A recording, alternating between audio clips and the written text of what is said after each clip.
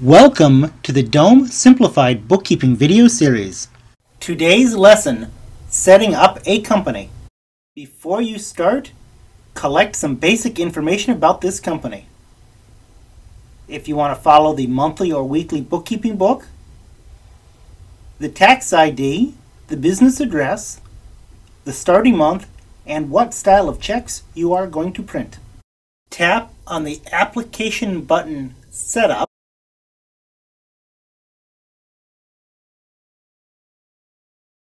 then simply fill in the information about the company.